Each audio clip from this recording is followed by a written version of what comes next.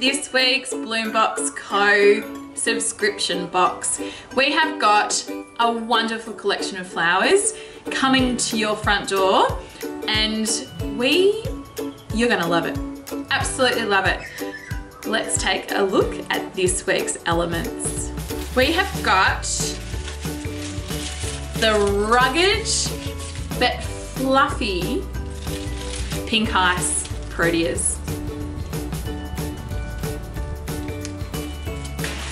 Foliage element this week is the wonderful magnolia. It has a gorgeous chocolate velvet to touch side and a glossy sheeny green side. We have these like little firework, pops of fireworks. We've got the Nerines in either vivid pink or red.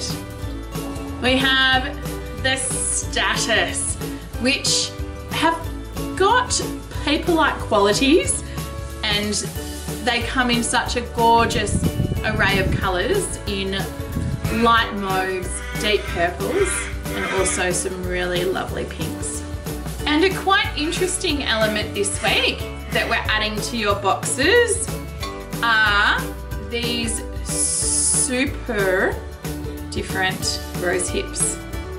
They've got gorgeous little seed pods and these are the result of after the roses flowered this is what's left on the bush and these are going to add some great structure and some really unique qualities to this week's box.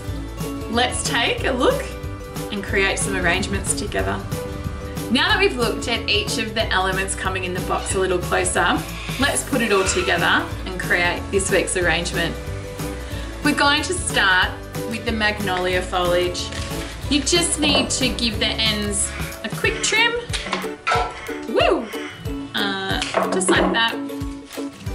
If there's any lower leaves that are going to be positioned into the vase but are going to fall below that water level, just um, pinch them off and then crisscross the stems at right angles.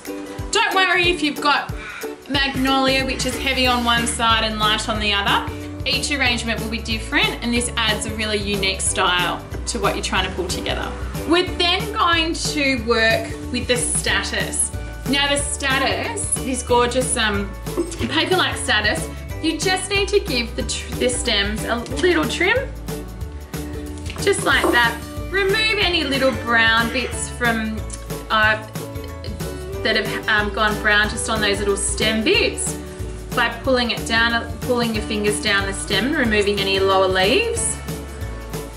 And then what you want to do is just evenly distribute the statice amongst the magnolia. With the statice, if you have a really nice tall piece like this, try and use it in the middle. That way then you'll end up with a nice symmetrical arrangement.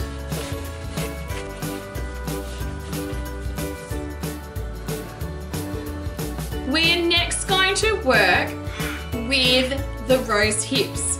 Now the rose hips are going to add some really lovely architectural elements to your arrangement. They're just going to create little canopies amongst the blooms that will preserve. So a lot of this week's elements will dry and will become everlasting. We're going to now work with the proteas. With the proteas, you just need to do a quick trim. You need your muscles for the proteas. And then you're going to pull down and remove any of the leaves, which are just on those lower stems. Protea leaves don't tend to last and they will go brown quite quickly. They oxygenate once they're picked from the tree. So it's best to remove them when you're arranging with them because it's harder to pluck them off once you've finished your design. That's a really good example of what I'm talking about, that little black bit. and then cluster them by giving them a quick twist. I want this one to sit a little bit lower, just at the front there, amongst that statice. Just on two different angles. Now, last but not least, we're going to position these gorgeous hot pink or red nerines, which are going to create the fireworks amongst this week's box. Give all of the stems a quick trim and then gently feed the nerines just in that top canopy surrounding the other blooms. And remember to give them a little twist as you're feeding them in so that you don't break the stems because they do have quite a fragile little stem to them.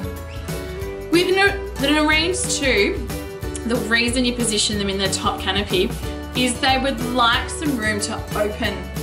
They need a bit of space to open and mature over the week, like that. And there you have it. There's this week's box, Free Spirit.